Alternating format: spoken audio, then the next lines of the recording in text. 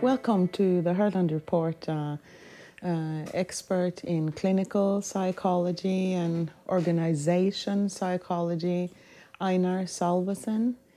You are a Norwegian, and we know that the Norwegian Child Protecting Services have uh, been under extreme scrutiny from the international environment uh, for quite some time now, and you are the founder and the head of uh, and leading the opposition in Norway, uh, asking for a complete renewal of that system uh, that, in your view, has turned into a totalitarian structure that is not protecting the children and the parents and the families any longer. Uh, and you've done extensive work pertaining to this. And we are very happy to have you here because we've seen recently the BBC documentary that came out, also uh, one in many now all over Europe criticizing uh, the Norwegian child protecting services. And the BBC documentary clearly showed that um, uh, an appointed expert witness had for 30 years been a pedophile, and still the guy had been involved and been protected by the Norwegian state mm -hmm. uh, in his rulings. And it's, it's just horrifying stories. And at the same time, we see the Norwegian state responding and saying that there is nothing wrong here. Mm -hmm. yes. Uh, just a comment on that particular case then.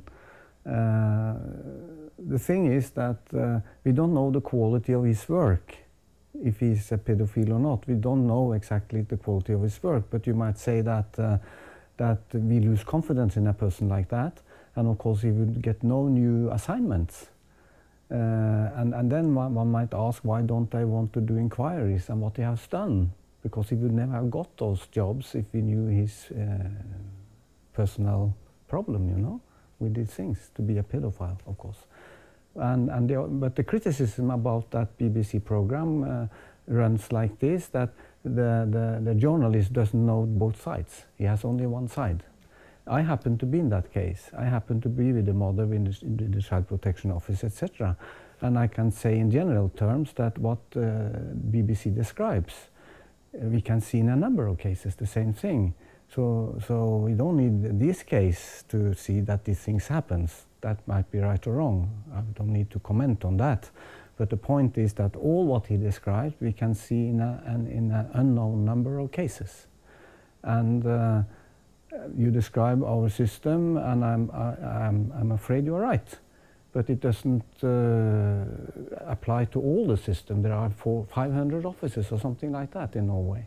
And it, uh, these cases are what happens in the, each case is very dependent upon what kind of quality that uh, uh, office has, you know, uh, depending culture, people working there, etc. And uh, some offices are probably working fine, no doubt about that actually. But there are offices, and we don't know how many, who are completely dysfunctional, who are totalitarian, and which are create a system of evil.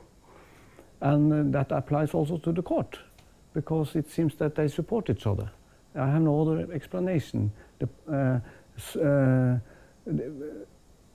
so we are in a situation where there is a number of cases, we don't know how many, where there are uh, failures all the way from the, the, the, the, case starts in the Child Protection Office and through all the levels in the court system. It's like uh, if there is one error in the bottom, that follows the case. If, for example, the mother has a diagnosis who tells her that she has a personality disturbance, which implies that she cannot uh, be with her children in a good way. And then uh, this uh, diagnosis follows the case through all the levels, in spite of several, uh, uh, several um, professionals uh, testifying that the mother don't have this diagnosis. So it's very difficult to, to change the the court in the right direction. So, yes. And corresponding as well when we see uh, the ministers uh, recently, Helleland, who is responsible for, for the child uh, care uh, in Norway on, on a department level, uh, coming up and just really basically saying, no, we have no problems in Norway, there is nothing wrong with anything here. Uh, and you recently spoke with the previous minister as well, Madame Horne, and she said the exact opposite. So even on that level, there seems to be strong instructions, I guess, from the prime minister. Oh, yes. Let's just shut it all down so we won't have a crisis here. Yes. But it, but the question is, how long uh, is Norway willing to uh, protect the those kinds of leaders that have brought the child protective services up to this degree of tragedy, instead of being willing to open this up, remove those who have been responsible for this kind of development, uh, and, and, and clean up in the system, uh, uh, you know, and, and, and help the children and respect the parents instead of what we're seeing today. Yeah, absolutely. I mean, I, I, it's. Uh, it's, it's, rather unbelievable for me to see that the government is not uh, doing the right steps, you know, and not even willing to go into and see if we are right or not. I mean, that's, that would be an easy thing, actually.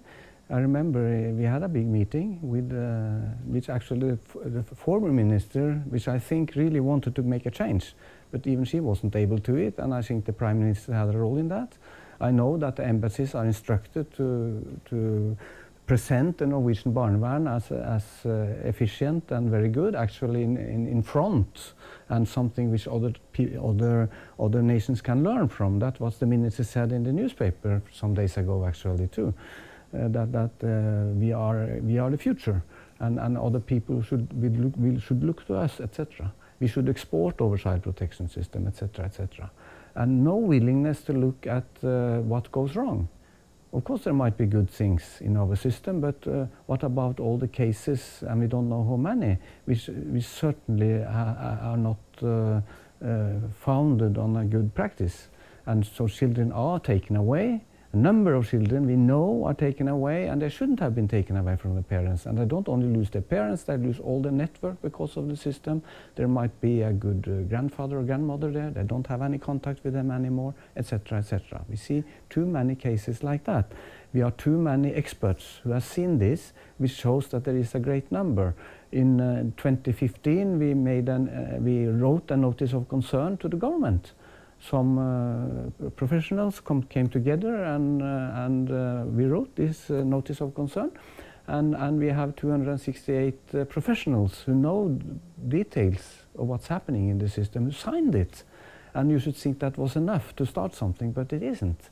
And then I wonder, why are they so keen on not learning what they should do different? Because if they had been willing to go into this and to go into the cases where we see all the failures.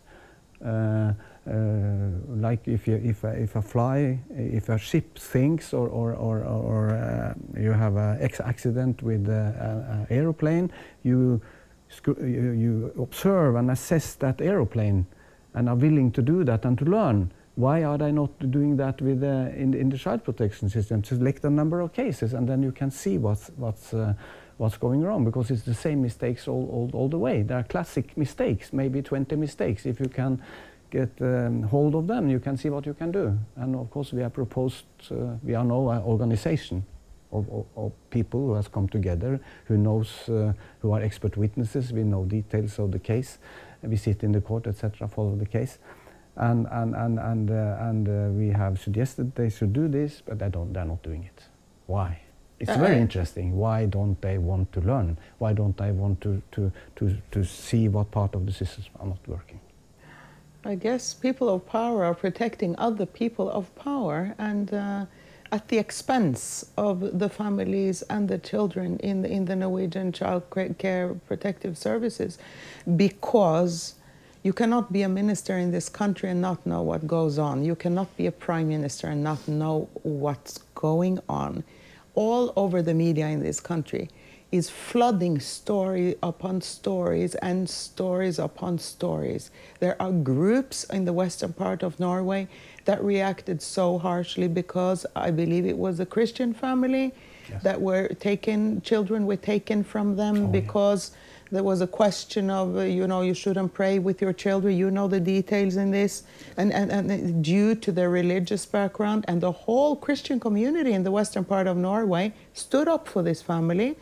And uh, the family, I think, fled to some country Romania. in Eastern Eastern Europe. After so it's, yes. it's and uh, so I mean, there's and, and, we could mention so many cases inside of Norway that you guys at your uh, national organization KIB is working uh, for uh, at the moment.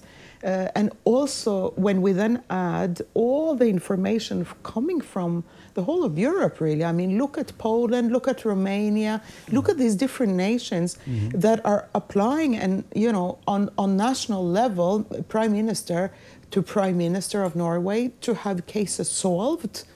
Uh, with all this kind of, of information, uh, it is very strange that mm. nothing is being done in Norway. Mm. Yes, it is very strange, and uh, I've never experienced anything like that before, and I'm asking myself why. And I think you have answered it. And uh, I, I, I, it, it's like in my backbone, and I think that's typical for Norwegians. We have trust in the state. We grew up with a state which we trusted. We trust government, we trust it, we have good government. I don't think people feel like that anymore.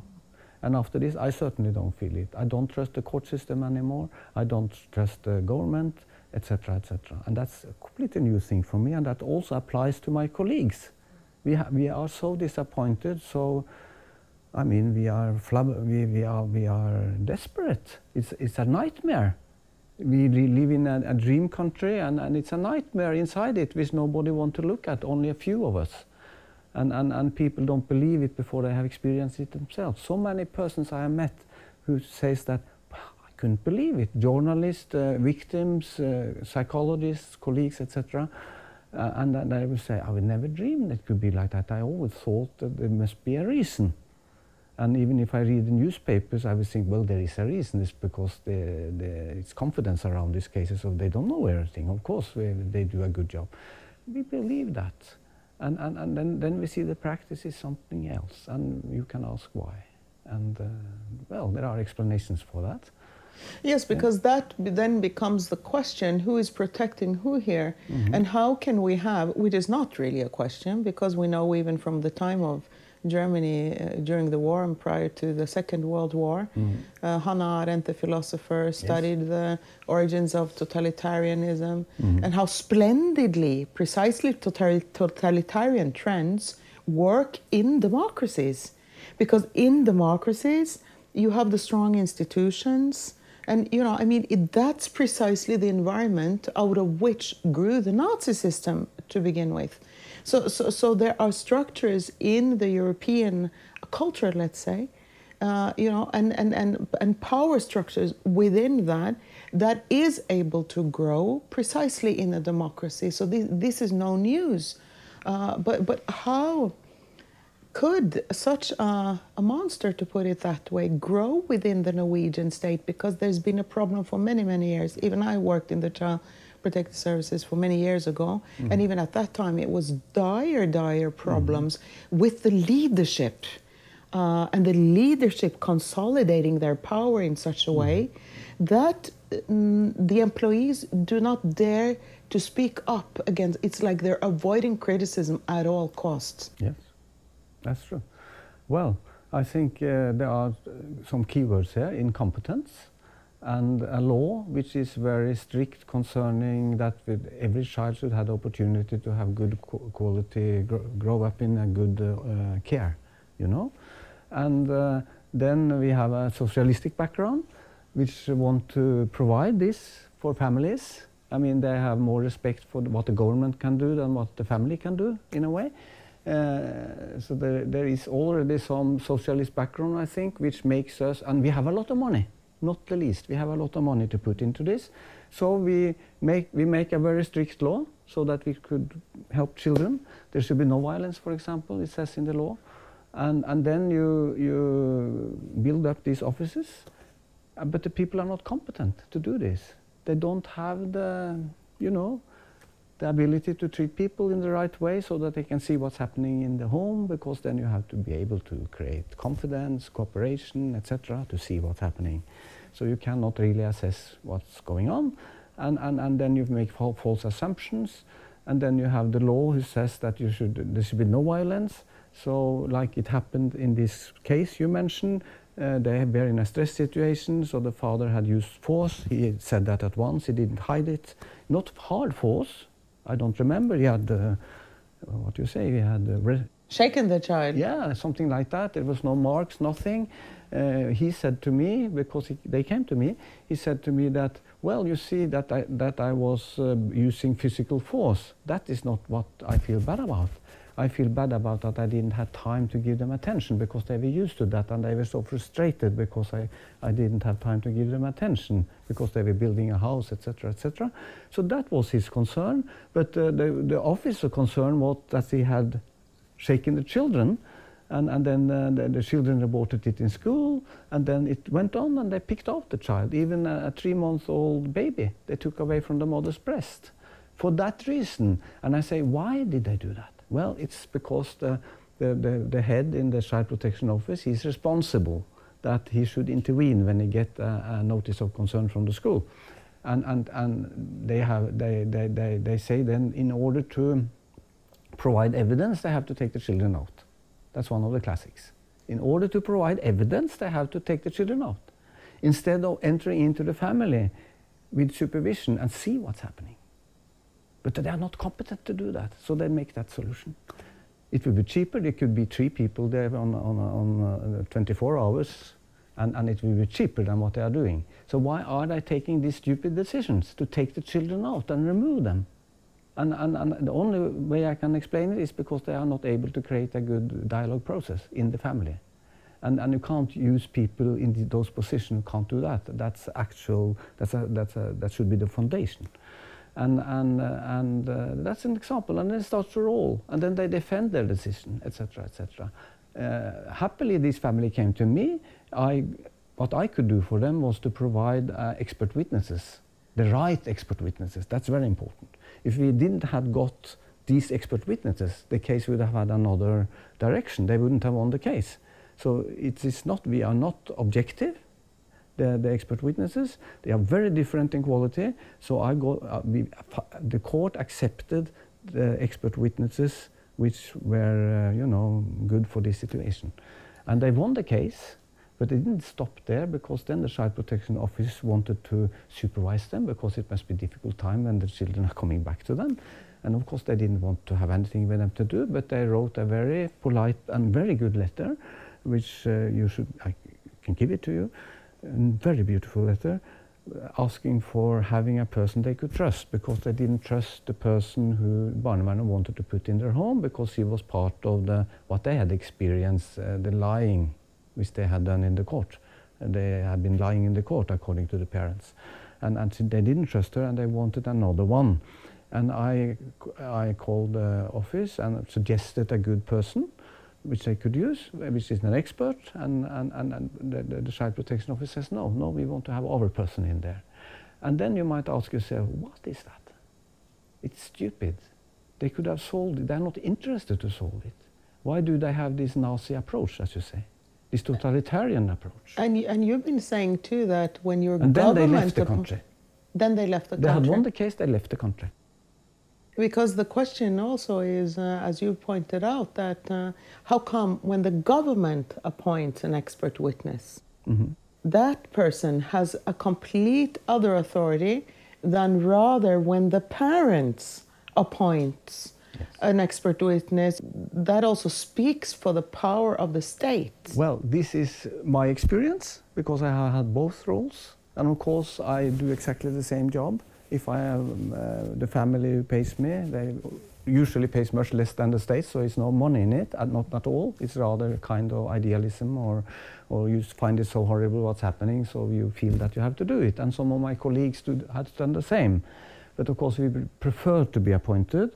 Why? Because then we can get well paid. That's one reason. The other reason is that then we are listened to.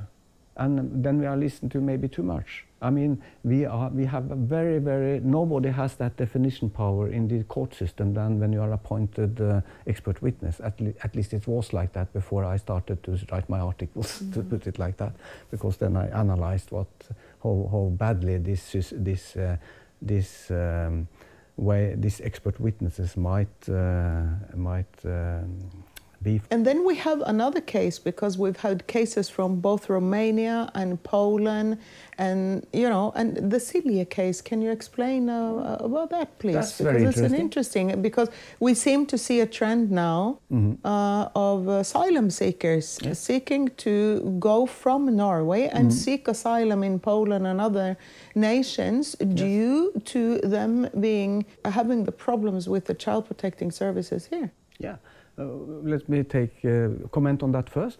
It's worse than that because people are uh, are going to different communes, different regions in Norway, actually. So let me just take that example before I take Silje's example. People, we had a case in Trondheim, Trondheim Barnevern, Child Protection Office in Trondheim, uh, north of Norway, or middle of Norway, and uh, it was four or five children uh, involved, and they started to take her children. She ran away to Sweden with the rest of the children.